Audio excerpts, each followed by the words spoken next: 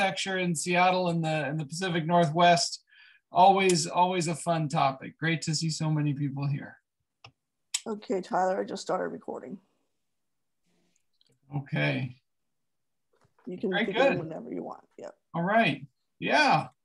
Well, welcome everyone. This is a fantastic turnout for a, a wonderful event. Uh, my name is Tyler Sprague. I'm the current president of Docomomo WEWA, our uh, preservation advocacy group here in Western Washington, uh, focusing on our, our mid-century modern heritage.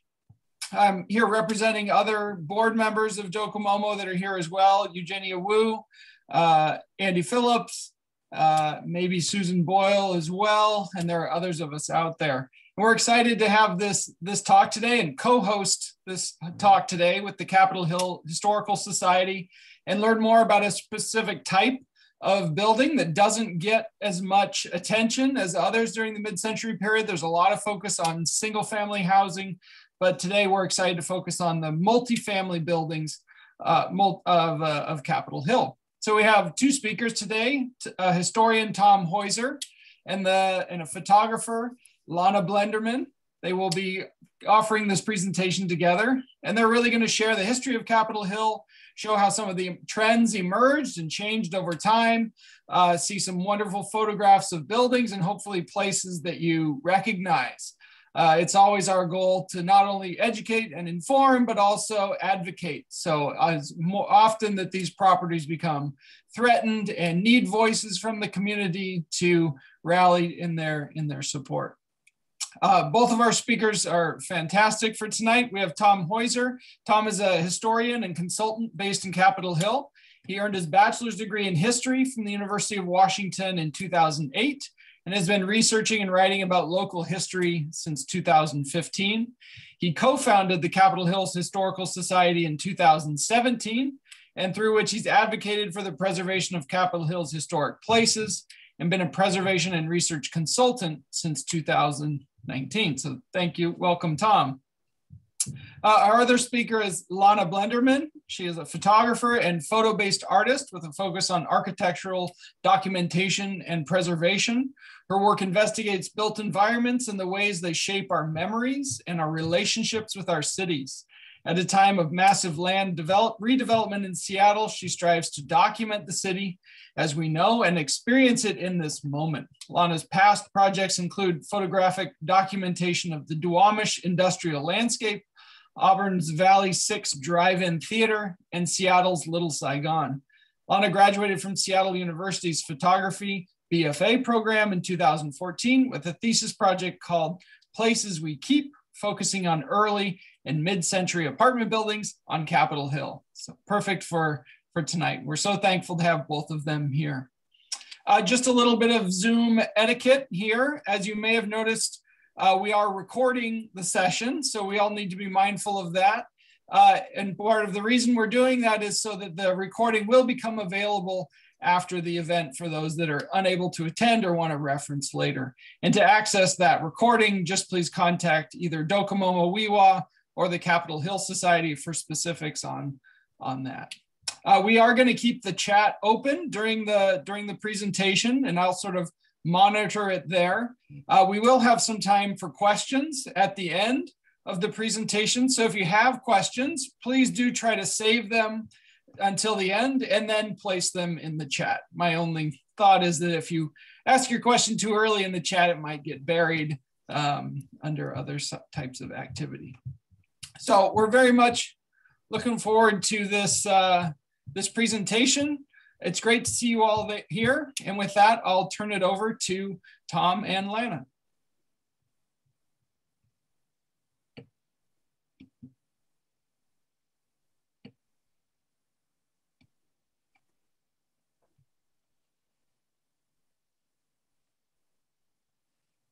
Don't think I'm getting any audio. Tom, I saw your. Oh, oh sorry. I, I, I, didn't I didn't bring my mic down. Sorry about that. So yes, thank you for the introduction. Um, and uh, yeah, for this opportunity to, to speak about this today. I'm really excited to, to be here.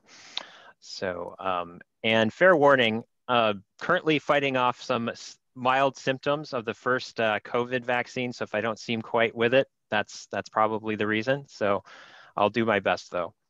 So uh, the first thing I'll start with is what does this uh, project do? Uh, it identifies uh, existing and demolished resources, which is our reconnaissance survey portion. And it describes the circumstances for their emergence and how they changed over time through detailed historical research, which is for the statement of historic context. And it provides detailed photographic doc documentation, additional description, and historical details about the 11 most significant and or representative uh, buildings, which is the intensive survey portion. And then the purpose and goals, uh, to raise awareness and appreciation of this style uh, slash era of architecture on Capitol Hill.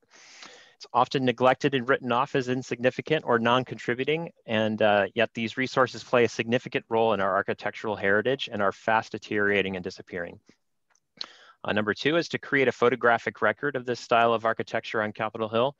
And three, to provide a foundational study intended to be edited and further developed. Uh, that is, uh, this is a living document and not intended to be the final word on mid-century modern apartments on Capitol Hill. And number four, to inform future historic preservation efforts, uh, for example, local landmark uh, nominations, National Register nominations, or historic district nominations. And then number five, generally to facilitate future scholarship on the history of Capitol Hill in the second half of the 20th century. So something perhaps similar to a book like uh, Jackie Williams' Hill with a Future that covers the first half of the 20th century. And then a little bit of background. Uh, it was the project was originally proposed by Lana in early 2019, and we acted upon it in early 2020. And then we were generously awarded a 10,000 4Culture a preservation special projects grant in April of 2020, and then the project uh, commenced in May of 2020. And now I'll pass it off to Lana, who will say a little, bit, little bit more about why she proposed this project. Hi, everyone. Um, so before I um, talk about why we decided to document these buildings, I would like to begin with the land acknowledgement. And uh, I acknowledge that I stand, work, and engage in the practice of architectural photography on indigenous land, the unceded territory of the Coast Salish peoples, specifically the Duwamish tribe. In my own life and career, it is through their stewardship of the land on which Seattle stands and of the Duwamish River Basin, the Duwamish people allowed me to build a better life for myself as an immigrant and to find my art as a documentary photographer. Uh, so speaking, why did we want to document these buildings? To put it simply, because they're important and because they're disappearing or being significantly altered. But um, to just elaborate a bit more, we had multiple reasons and inspirations. Personally, I try not to attribute all my inspiration to my background, but there's no uh, denying that it played a role in my appreciation of architecture. I grew up in Russia and spent my early 20s in Israel. And uh, some of you may know that Moscow and Tel Aviv are pretty much like open air architectural museums. And I have come to appreciate the, the gamut of modernism from the 70s constructivism to the 70s brutalism. Now, I've lived in Seattle for about 22 years, uh, and I started out living in the suburbs. But when I moved to Capitol Hill about eight years ago, I was struck by this sense of familiarity I had already been learning about Pacific Northwest modernism, mostly through books and lectures and Docomomo tours. But this was the first time in Seattle when I was surrounded by multifamily housing that was both visually appealing and modernist. But it didn't take me long to start noticing the ubiquitous land use signs. So um, I wanted to document the earlier buildings because they were disappearing right in front of me. For example, this is a building at 318 Bellevue Avenue in Lower Capitol Hill, built in 1956. I've walked by this building numerous times over the years. Uh, it was slated for demolition perhaps a year ago. And then about two weeks ago, it also caught on fire. So you can see that we're really racing against time with many of these buildings. And finally, this project builds on my BFA thesis, um, as Tyler mentioned, at Seattle University's photography program, where I documented both early and mid-century apartments on Capitol Hill. And I just want to show you some examples of why these buildings are so documentable. Uh, some of these mid-century modern buildings are not only historically significant, um, they're also very tall and imposing, like the lamplighter. And others are very sprawling and garden-like, almost like suburbs in the city, like Camellia Manor on Harrison. Some of them have a great variety of textures and ornaments, and um, one of my most favorite being ashlar stone, like on this building at 60, 1601 Mercer Street. Other buildings have ornamentations like these beautiful concrete screens, like the Charles VIII on Thomas. Some have remarkable tile, like 707 East Roy. And others have stucco, which is a Bauhaus classic. Some of the buildings cast very intriguing and impressive shadows, like the Margaret on Belmont. And others have very impressive landscapes, like uh, the Molokai on 12. And um, here, um, I also have to know that all these buildings look very good in black and white. And I say this partly as a joke, but partly seriously. Because all the classic architectural documentation was done in black and white and this includes work by Julius Shulman and Berenice Abbott and my own mentor, John Stamos. And so there is a certain look uh, we have come to expect from architectural photography.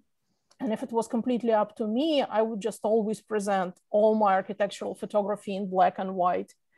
But for this project, I decided to combine sort of the classic documentation style and the real estate style, uh, just so we can show the colors of all these buildings for uh, historical record. And some of these buildings are just really strange and quirky, like the Cirque on Harvard and Roy, and have a lot of character. Like for instance, this building has a circular facade. And these are just a number of reasons why we found those buildings so documentation worthy. All right, thank you, Lana. Uh, so now I'll start uh, talking a little bit about our methodology and uh, starting with uh, defining the project area. This is the first step of the reconnaissance survey, uh, looking just simply looking at a map and deciding where to look for mid-century buildings. In this case, we looked at the entire neighborhood, which is a geographic area covered approximately 1,200 acres of land bounded by I-5 on the west, Roanoke and Interlaken Park on the north, 23rd Avenue on the east, and Madison, Broadway, and Union on the south. And then next I went out to identify uh, the resources within the defined area. And traditionally this is done by either walking or driving through the neighborhood, but to save time, resources, and to avoid exposure during the pandemic, I virtually traversed the defined area, uh, starting from Minor and Union going north and south along the avenues and pausing at the streets along the way using Google Street View. And then I stopped at any resource that appeared mid-century, such as the Red Lion apartments pictured here. And next I looked up the building in King County Parcel Viewer to confirm the construction year. And in this case, it's 1948, which matches. And for those who don't know, Parcel Viewer is a GIS a map loaded with all kinds of data on every piece of property in the county, making it a very powerful and essential research uh, tool.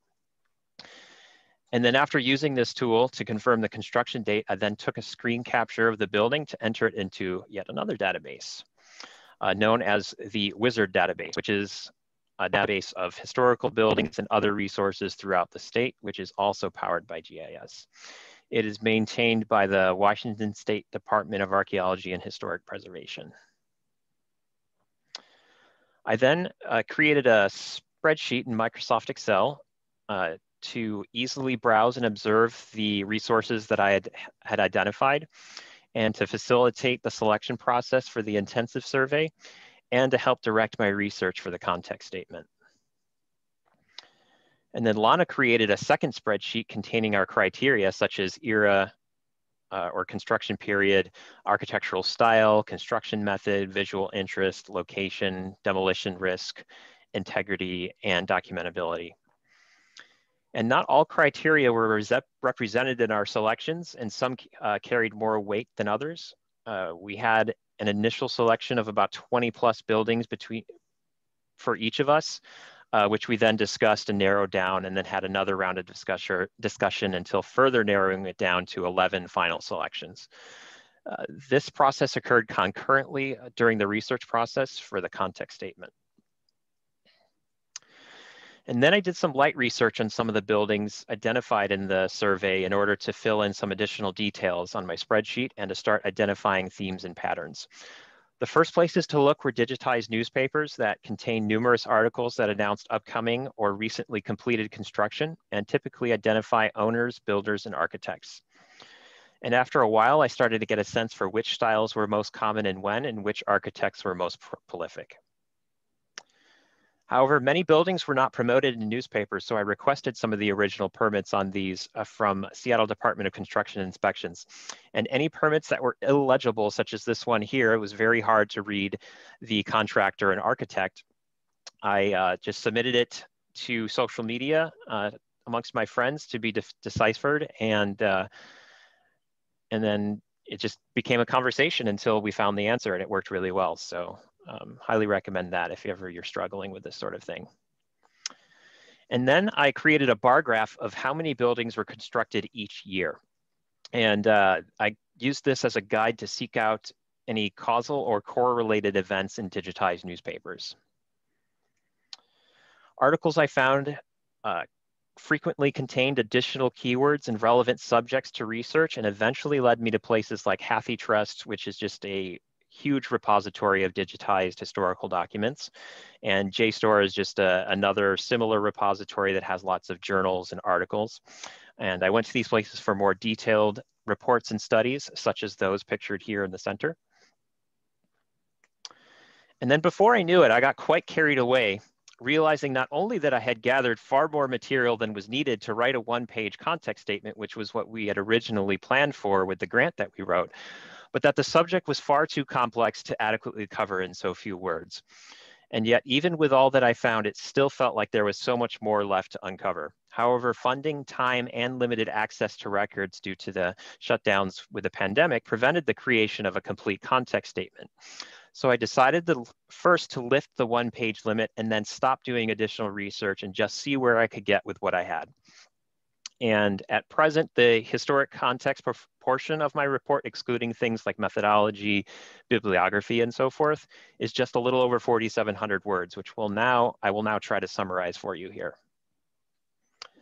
First, I organized the context statement into five separate eras. These eras, though, are not set in stone, but are more so there to help organize, understand, and explain what I found. The first era is the post-war period, 1945 to 52, and consists of transitioning back to a normal peacetime economy through the unraveling of wartime rations on natural resources, especially lumber, which was a huge resource, very important, obviously, to multifamily construction, as well as price and rent controls, which again, uh, rent controls were a major factor in uh, driving uh, multifamily construction.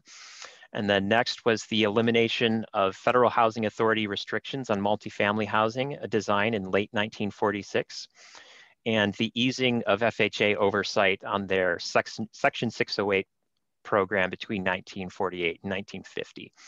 And I'll, I'll get a little bit more into detail about that program in a bit. And then there were just also tens of thousands of returning veterans seeking housing and education on top of a civilian population that had grown by over 100,000 within the past five years. And now I'll talk about the dominant styles of this era, which are minimal traditional and garden courts, or otherwise known as courtyard. Uh, minimal traditional is more or less mirrors the popular styles of the earliest 20th century, but with less adornment and are often clad with Roman brick, which is just a longer and thinner style uh, type of brick rather than just typical brick that we most often see. And then garden courts are just simply a single complex or a series of buildings centered around a central garden space. And though garden court buildings certainly existed in various forms long before this, the garden courts of this era specifically arose out of wartime regulations on multifamily housing. Uh, during the war, there was emergency federal funding provided to construct housing for war workers, but they had uh, numerous requirements that they had to follow. And uh, one of these being uh, a limit of 50 fam families per acre. They were not allowed to have any interior corridors or elevators, and they had to have ample open green space. And this style remained a popular choice well after the requirements were lifted starting in August of 1946. And taking a closer look at Camellia Manor's uh, garden, you can see that it is densely landscaped on the periphery and open and lightly landscaped in the center.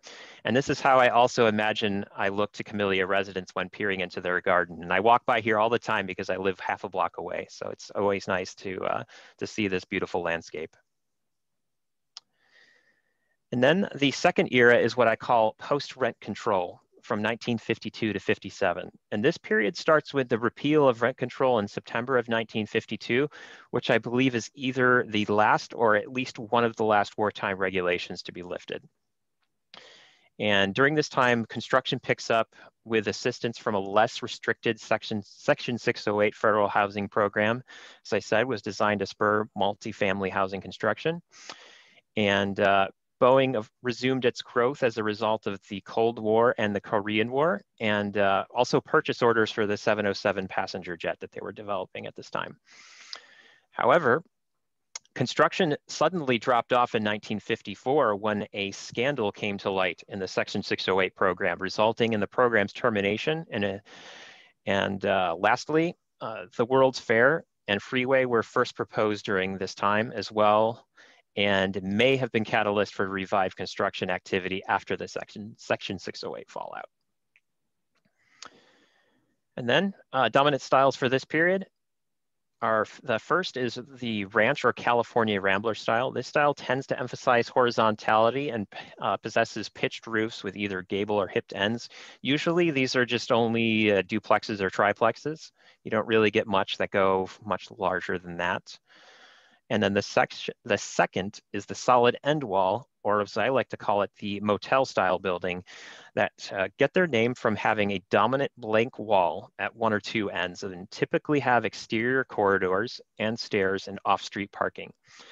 This style likely emerged as a practical choice to meet the demands of increasing automobile ship during this time, especially once, I believe in 1949, when civilian automobile uh, production had resumed after the war. And the solid end wall buildings come in multiple forms as well. First is what I like to call the double or overlapping solid end wall. In this building designed by Benjamin McAdoo Jr., we have two overlapping solid end walls between which the stairs run, allowing for more privacy. The next one is what I like to call the semi-solid end wall, which where there's a solid blank wall that still predominates, uh, but shares space with windows at the very end or corner, as we see in the Bonneville apartments and the 14th Avenue apartments. And finally, for those who just had to have it all, there is what I call the ranch semi-double solid end wall, an unconfirmed McAdoo design. This building contains all of the dominant styles of the period in one continuous complex. And actually, you could even consider it a garden court style building too, because it has a courtyard. However, unlike this Homer Simpson car, I think it is actually a pleasant and well executed fusion of these styles.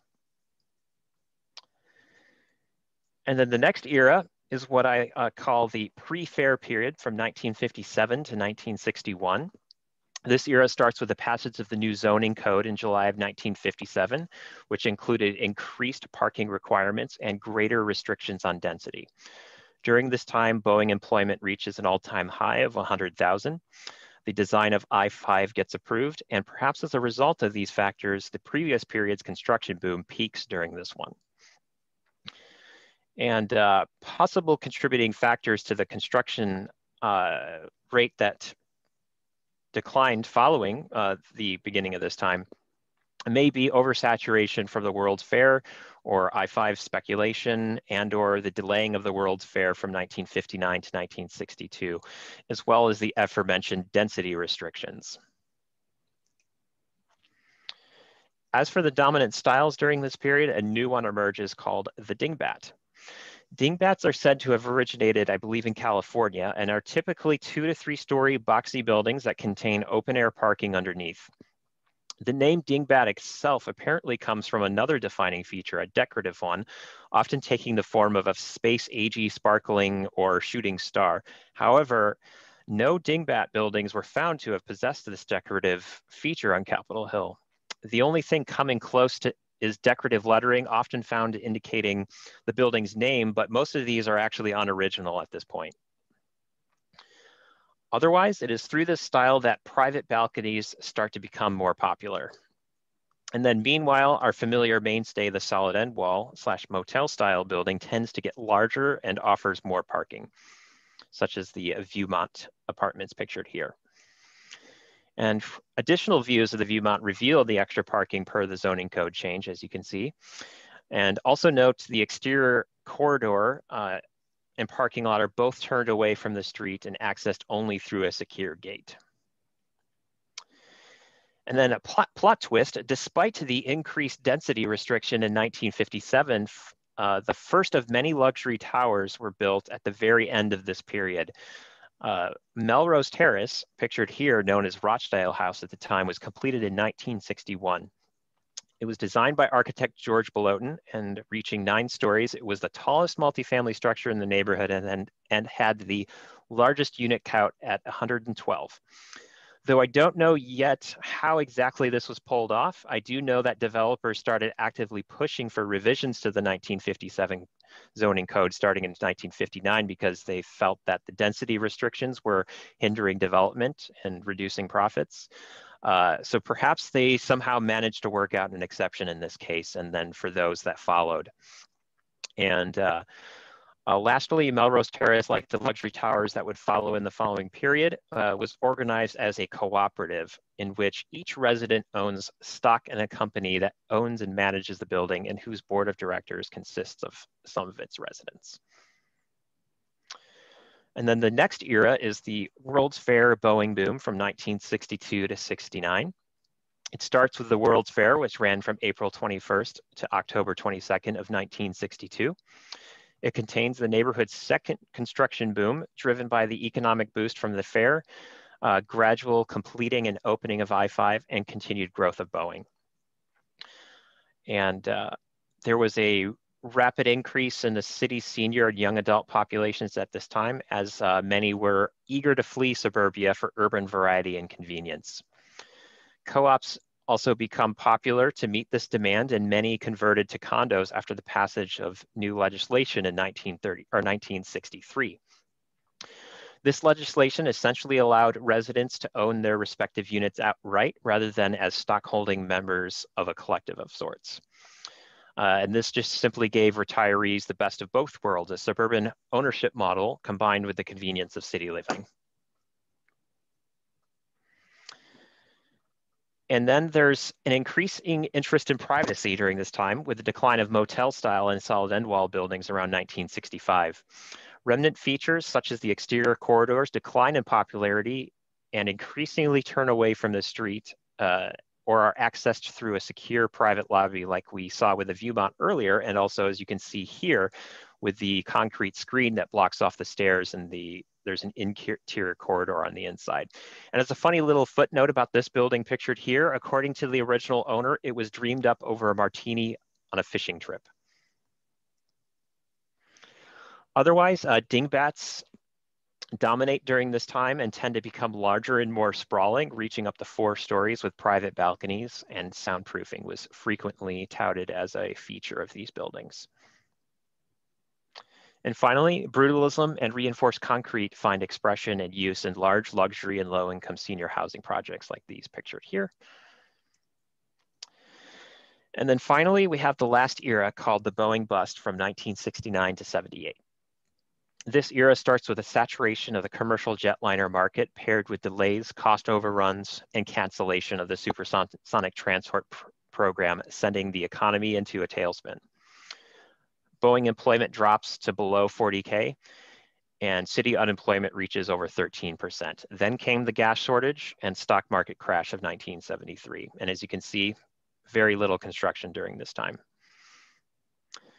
And interestingly, the neighborhood's tallest and most striking towers are completed at the beginning of this era, as if they were the needles that popped the previous era's bubble, as you can see here with, uh, with this um, low-income housing project on 14th Avenue, as well as the uh, Shannon condominiums on Belmont. Otherwise, some modest developments like these semi or enclosed dingbat-like buildings are constructed during this time. And then finally, as an addendum to this historical context, I took a brief look at issues of race and racism in land use and housing on Capitol Hill during the mid-century period. And for pretty much its entire existence, Capitol Hill has been a highly contested area along racial lines. From its earliest days, white residents were wary of the impact that non-white residents would have on property values, leading many to sign restrictive covenants to outlaw anyone who wasn't white from owning or living on their land uh, for a set term of years. This, along with redlining and other discriminatory housing practices, gradually forced non-white residents further east of 15th and southeast of Madison during the mid-century period as evidenced here with uh, census tract data on these maps. And then interestingly, uh, Benjamin F. McAdoo Jr., a Black architect, actively challenged this trend on Capitol Hill by designing multifamily buildings with unrestricted tenancy, such as the Benmar Apartments on 23rd in 1950 and others constructed further west in succeeding years. McAdoo also made an even more bold statement and challenge by establishing his office in a single family home he modified at the corner of Boylston and Olive Way, from which he designed most of his multifamily buildings. And then that concludes my summary in the historic context, and I'll now pass, pass it back to Lana, who will introduce our final selection of buildings. All right, so um, having all this information and all this research, that Tom has done and a list of nearly uh, 300 uh, contending buildings, it was really difficult for us to only choose 11 for which we had funding to research and photograph. So after several uh, rounds of selection and a few good hours of discussion, we settled on these 11. In the courtyard category, it's Camellia Manor at 501 East Harrison Street. In the motel and or solid end wall, we picked uh, Viewmont Apartments on Bellevue Avenue And um, it is worth mentioning that uh, Viewmont apartments are also a rare for Capitol Hill example of curtain wall style that many of you are familiar with from the Bauhaus movement. In the Dingbat world, we picked uh, Belbane Apartments, currently known as the Margaret on Belmont Avenue. In the minimal traditional category, it's for, uh, 514 East Roy on Roy.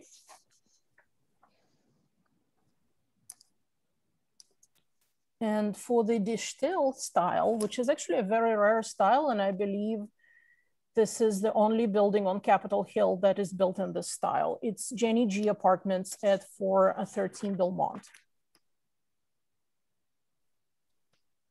In the brutalism category, we picked Ramayana Apartments at 119 Harvard Avenue. And also in Brutalism, uh, Lamplighter Apartment House, which is now uh, a condominium, also in Belmont. And in a rare and exotic shed category, and yes, there is such a thing as a shed category, Thunderbird Apartments, 315 Belmont. In the institutional category, it's Harvard Court on Harvard. And um, institutional is not really an official mid-century architectural category, but we created it for this survey um, because of significant presence of institutional buildings in the neighborhood. In the other or eclectic category, uh, Cirque 621 on Harvard and Roy, and also in the other and eclectic category, Ben Benmar Apartments, uh, currently known as Capital East Apartments on 23rd. And here I'd like to take a minute to talk to you about my own uh, photo goals and methodology in this project. So the obvious goal is to get architecturally correct photos describing all the accessible elevations of these buildings and um, convey not just the form, but also the mood and the spirit of the buildings, if you will. So I started with visual studies of select buildings to help um, assist our research and selection process. I did those uh, for most of the summer, some of the spring and some of the fall. We uh, shared extensively on social media. And then as winter came, I uh, continued documenting just the selected buildings. Although I have to say that when I, when I, when I go to, uh, to the buildings that we have selected and I see some other mid-century uh, buildings around it or even something that is slated for demolition, I tend to also stop and take pictures of that because that might be my only chance. Um, but as far as some challenges in this project, I had this idea in my mind that I'll just visit each building once, maybe twice, and walk away with a bunch of great pictures and just go directly to editing. But in reality, it's been taking me several visits to each building to get the kind of pictures I wanted. And I had to also do some equipment adjustments. So for, for, the, for, the, for the photography geeks among us, I, um, I'm shooting with a Fuji X-T4 mirrorless camera. I started out with a 16 millimeter wide angle lens, which in crop sensor is equivalent uh, to 24 millimeters in film or digital full frame. But then I realized I was just not getting the kind of uh, shots that I wanted. And, and they were just, there was, the lens was just not wide angle enough. So I did some research and uh, rented a few lenses to try them out and ended up switching to an 8 to 16 ultra wide, which is an approximate equivalent of 12 to 24. And then I finally started getting the kind of shots that we needed for this project. So uh, some challenges in the project included trees. We have them, we love them. Seattle is full of them, and I love them too, but they're often uh, a hindrance for architectural photography. So um, I intentionally waited for winter to shoot the bulk of this project because the trees were bare. And then there are cars, there are cars blocking the buildings. And uh, more than once I had to wait out postal trucks or UPS or Amazon. And um, a few times I would arrive at the building and find a perfect spot and realize that um, I was inched out by a large SUV that was parked in the best photo spot. So sometimes I had to leave and come back and, you know, and take the photos. And also I, I kind of realized early on that the best shot of any building is always taken from the middle of the street, which is unfortunate because, you know, photographers shouldn't have to endanger themselves to, to photograph buildings. Uh, then there are people. People love to sit outside these buildings, which is lovely, but sometimes they get grumpy and they want to know what you're doing and why, why you're doing it and who you're working for. And generally, I love to engage folks in conversations of, you know, why I'm photographing what I'm photographing. Um, but sometimes it's just easier, like if somebody's giving you, you know, giving you a look, then it's easy to just leave and come back another time. Then the weather, you know, weather is a blessing or a curse. Sometimes it's too sunny and the shadows are too sharp. Sometimes it's not sunny enough and you don't get the good kind of light. Sometimes it's too bright, sometimes it's too overcast. So the perfect time to photograph or the perfect weather to photograph buildings is when it's a light overcast or when you know those days when you have those giant floating clouds and you know the light is kind of diffused but it still brings out that beautiful texture where you can just see like every grain of stucco in the shot. But i think the biggest obstacle so far has been lack of access and kind of goes two ways. Um, some buildings like the ramayana on harvard are landlocked on three sides by neighboring buildings so there's just like no matter no matter how much i try there's no way to access. And sometimes streets are too narrow like in the case of 514 roy. And uh, it's difficult to step back far enough to, to take in the whole facade without you know somehow merging with the building across the street. And then there are some buildings that have interior courtyards but they're fenced off and only accessible to residents And I found contact information for most of the buildings and emailed all the building managers. And so far, I only got two responses. Uh, the rest did not respond at all.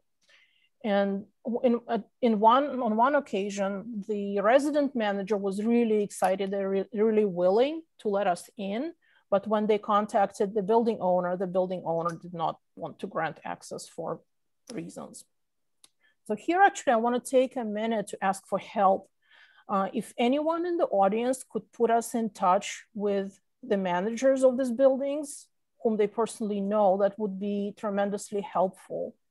And in case of Lamplighter and Camellia, those are condominiums. So if you know anyone who owns a unit there, we would really appreciate getting in touch with those folks.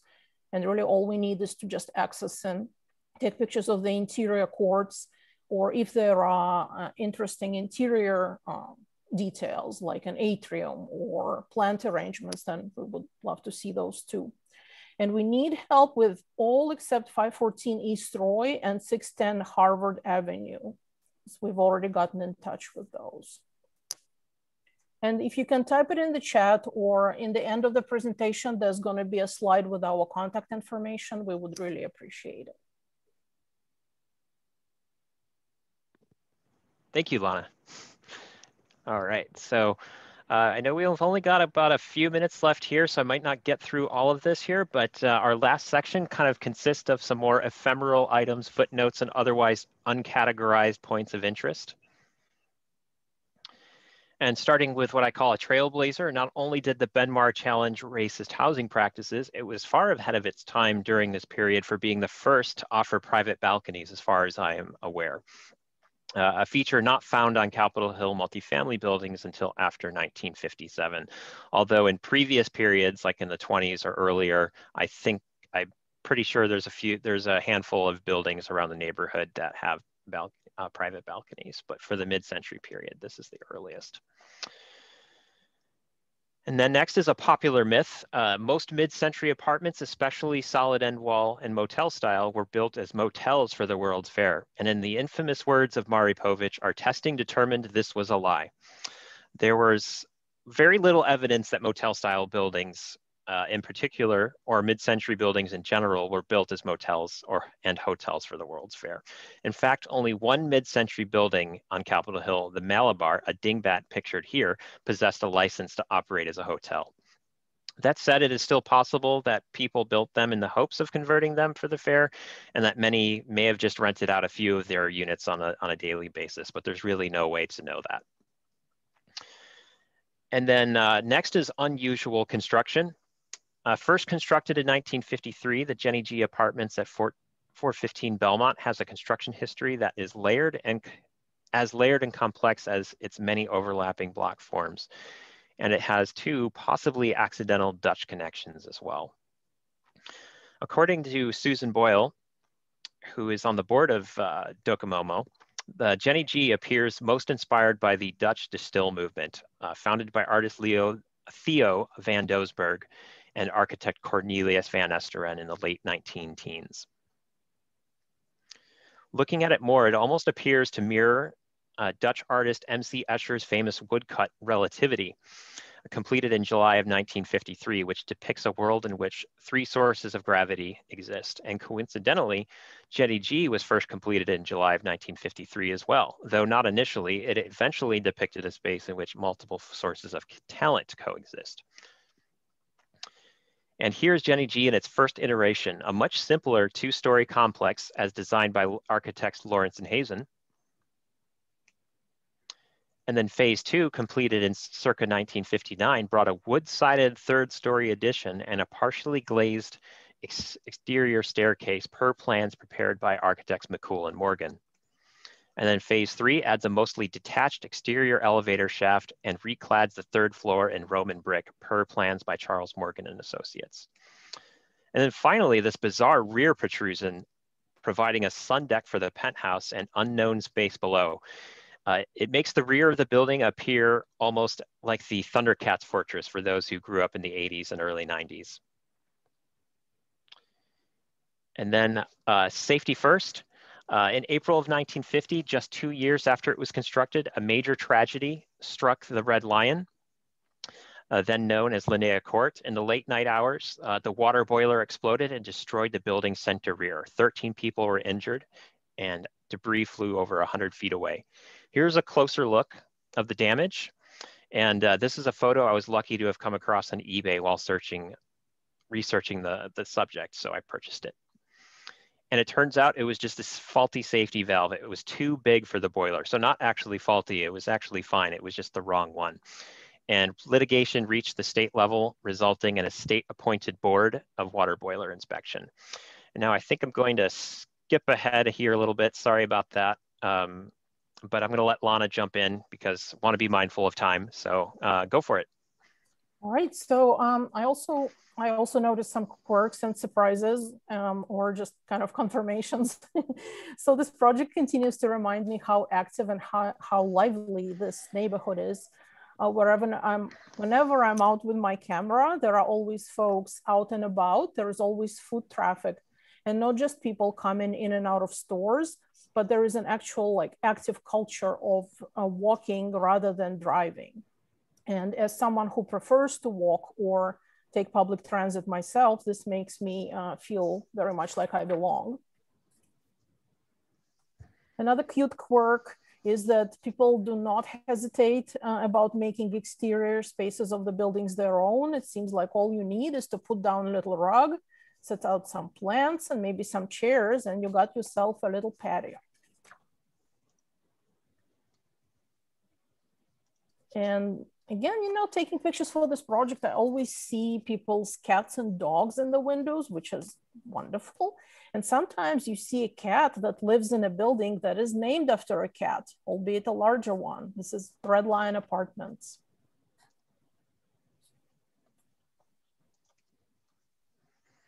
And another delightful quirk is that there is this culture of sharing in this neighborhood. And it's not just on the neighborhood buy nothing groups, but just by walking around, you can find all sorts of surprising things, um, some valuable and all are shared freely.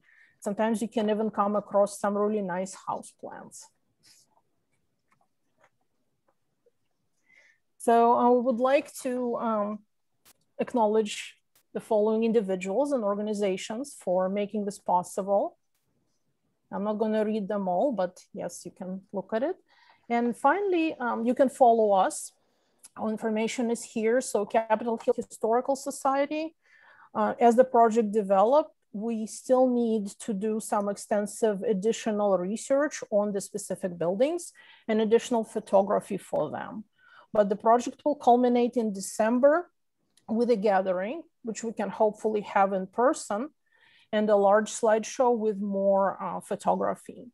And we're also planning uh, walking tours and you can follow Capitol Hill Historical Society and Tom and me on uh, social media. And uh, as a reminder, if you could introduce us to building owners and managers, that would be very much appreciated. Yeah, and one last quick mention. Thank you, Lana. Um, Capitol Hill Historical Society is also participating in Give Big this year, and early giving actually started today. So if you feel so inclined, please consider making a donation at the link provided below. Every dollar up to 1200 will be matched by our generous pool of matching donors. And that uh, completes our presentation. So I'll give it back to our hosts. All right, very good. Wonderful. Well, thank you very much. We can give our give our applause virtually in the chat. That was fascinating. Fascinating to see the the building stocks to to understand the connections to the different important time periods that's in that mid-century period, all the all the transitions that were happening and the and the building stock that came along with it. That was that was fantastic. Um, so of course, a big a big thanks to to our speakers. We do have a little bit of time to open it up to to some questions, um, which I'll start to pull a little bit from from the chat before we wrap up a little bit here. So one that I did pull off early was a question for you, uh, Lana, which was uh, what rules do you make for yourself about permissible versus impermissible post processing from from Joe Mabel? And I believe this refers to your your photographs and um, Lighting? yeah, I think that's a great question. So I try to, you know, I the, the only time I allow myself to use Photoshop to change anything in the picture if there is like a bumper of the car sticking out on the pavement and then I can maybe, you know, edit it out. Otherwise, I try to keep it as, as realistic as possible and as close to the lighting conditions too. So I kind of had to build myself some, some setups in Lightroom to keep that uh, consistent. But generally it's just highlights and shadows a little bit and maybe just exposure post-production. And other than that, not much. I mean, I don't go for special effects. There might be a place for it, but not in a documentary project. Right, right. Very good. Great. Uh, another question from from the chat, I think refers to sort of the general massing and sort of uh, you know, couple of story size of the, a lot of the buildings we saw. The question is, why does Seattle have so few high-rise apartments during this period uh, in this area and still? Any thoughts on why why that might be?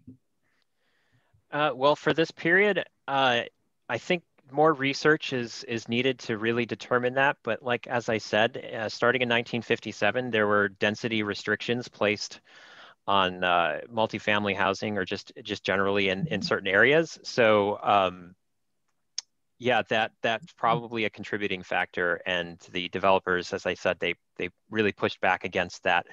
And uh, the Seattle uh, City Planning Commission came up with some possible ways to uh, mitigate that that problem, but I didn't come across any conclusion to that to that effort. So yeah, mm-hmm. like I said, more research would be needed. Sure. So a, a, fun question coming in from, from Megan Joplin. What building did you really want to include but didn't and why? As we're limited in time and I'm sure this presentation could have gone on, uh, are, there, are there particular buildings that didn't quite make the cut tonight? Yeah, you know, I think I think there are some I can think of. I know there's there's a there's a couple of other garden court buildings that I just really loved. I think there's one on 17th and then another one probably just a few blocks away from the Camellia Manor. Uh, those mm-hmm. were some. And uh, yeah, I know I know there's there's definitely others, but those are the first that come off the top of my head. Yeah, well, I really wanted to include the Casanova because of its style work. It's on Bellevue and Denny, but mm. yeah, we ran out of room in the brutalism department. Very good. And we had a question specifically about the, the Benmar building. And the question was, was it developed by Benjamin McAdoo Jr. as well as, as designed? Uh, no, he worked with, uh, with a developer that he had frequently worked with on a number of uh, single family homes that were very small and intended to be affordable that he had designed and built throughout uh, the central district and whatnot. Um, and I forget the name, exact name of that uh, developer, but yeah, he, he, he had a developer that he frequently worked with. Very or a, our builder, I suppose I should say. Okay, great. Uh, so we had uh, one other question about the names. Uh, a comment on the names of the different typologies that you found of the different different types of forms. Um, did you find that these styles had been named in previously in other cities with a large stock of buildings, or any comment on the particular stylings of these of these multifamily houses and and their their number here in Seattle? Um, well, I do know, as I mentioned, the dingbat comes out of California, um, and but as far as the other styles, I don't know if they. I, I, I believe if the, even the Docomomo US website has a lot of them listed, so I'm sure they are fairly ubiquitous around the nation. But I mm-hmm. can't say necessarily anything else other than that that has a specific location that it comes from other than the dingbat. Sure. Very good. I mean, that's part of the the fun of those is recognizing a style or a building that has certain characteristics that you've seen in other places and so indicative of that mid-century mid-century period that's great uh, one other question about the assessor photos Uh, did you check assessor photos of the buildings from when they were new? I, maybe tax assessor photos? Uh, yes, like with the with the Benmar, that is a tax assessor's photograph, and uh, also with the Jenny G uh, pictures that I showed, those were from the when it was first built, and then the subsequent uh, additions to the building. And I'm sure I've got, yeah, I, I actually got all of the assessor's photos for the final selections that we did. Mm-hmm. Very good. Yeah, very valuable information. Absolutely. Right. Uh, let's see. Let's see. I think I've got following along here. Uh, one of the more recent questions, did you discover any information about any buildings that have already been lost? So perhaps a demolition recently that, um, that of, of a building of note? There were certainly quite a few uh, buildings that we had discovered in the survey and noted in the survey that had been demolished. Um, and uh, yeah, because uh, Google Street View is especially great for that because we have photos that go all the way back to 2007. So you can look in different areas and um, see what used to be there. So if like you have a vague memory of something, uh, you can go look it up on Google Street mm-hmm. View and it, and it comes up. So there are quite a few of those. Um, as far as anything that really stood out about the demolished ones, not necessarily that's coming to mind at the moment. Um, mm-hmm. But yeah, there there are certainly quite a few. There's certainly quite a few, even pretty large ones uh, right. that have been demolished over time. So, yeah. Yeah, on, on my end, there were some modifications that were quite jarring and there was mm-hmm. there's the Dakar where all the siding has been removed and replaced with corrugated metal. There is a building on Harvard that um, now looks like sort of a fairly generic contemporary building, but underneath there's actually ashlar stone hmm. and quite a few more. I see. Yeah, and those revisions really change the change the character. And it's interesting because there's such a large number, and they tend to when you look for the style, they're noticeable, but there's not that sort of signature building that sort of the iconic one of the of the group. And a lot of preservation is set up for preserving the singular exemplar, but when having this large number of stock, it sort of uh, requires a, a, different a different approach. Um, would you say this that these buildings are continuously threatened? Obviously, this this uh, survey is intended to raise awareness and advocacy for the group, but um, can you give us a sense of the state of of the stock or the the level of threat that they face? You know, it's it's. I mean, Tom Tom might be able to give you a more sort of you know research based answer, but from what I observe, it's quite a few of them were lost, and even the ones that still stood there when I started photographing Capitol Hill. And from my observation, single family homes are more threatened, but we mm. definitely have been seeing these buildings uh, demolished without much uh, public knowledge. Right. Yeah, absolutely. There's there's quite a few. It, it's you know fairly often that I'll be walking along and just seeing yet another uh, sign up on a mid-century building. And um, yeah, yeah. So I, I do think they are significantly threatened. And I think a lot of people, even me, up until uh, you know, Lana brought me onto this project, and I really kind of turned uh, sort of a new leaf uh, and came to appreciate really this this this uh, style of architecture. I think a lot of people believe that mid-century detracts from the sort of classical sense of what we imagine Capitol Hill being, which is kind of our 1920s uh, brick buildings. And uh, but really, it's just it's just another aspect of the neighborhood that really tells a story, an important story about the sort of next era of of uh, Capitol Hill after the Great Depression and the specifically World War II. So um, I think they're very important. Right. Wonderful. Great. Well, that's a that's a great comment to sort of start wrapping things up here. We are right at eight o'clock. So on behalf of Docomomo US or WEWA, I want to thank our speakers for tonight, uh, and definitely want for those that are here to uh, point you in the direction of our website for Docomomo WeWa. We are an all volunteer organization. Uh, we've been having virtual events like this, and we hope to have some more in person events as things begin to open up in 2021. Um, in person tours and, and programs and such. So, for all of you out there that are mid century modern enthusiasts, do please connect with us. And if you feel in your heart to make a donation, we certainly would appreciate that and allow us to continue to put on programs like this.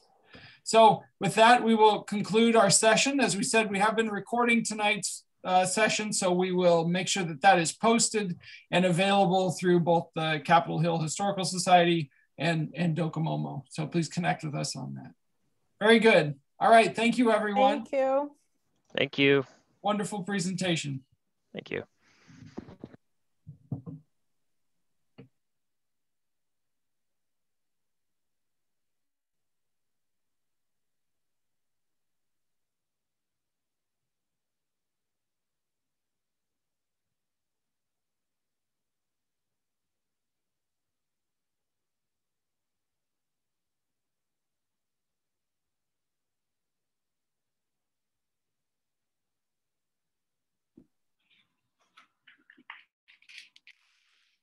Thanks, that went well. Thank you, Tyler. Yeah, that was great. Fascinating yeah. to hear. I'll save the chat. Okay, yeah. Yeah. I think, uh, yeah. Well, great. Thanks, thanks, thanks you all for all of you for coming. Uh, great to see new faces and old faces. okay. All right. Have a good evening. Good night. Have a good evening, everyone. Bye.